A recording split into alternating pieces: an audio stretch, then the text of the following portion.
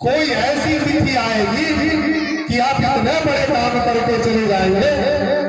कि वही आने वाली पीढ़ियाँ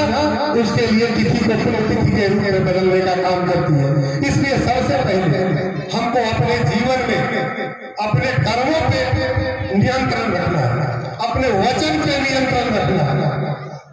और इन सबों को नियंत्रित करते हुए समाज के लिए कुछ न कुछ करते चलना है समाज में करने के लिए न जात देखना है न लिंग भेद देखना है, न क्षेत्र देखना है।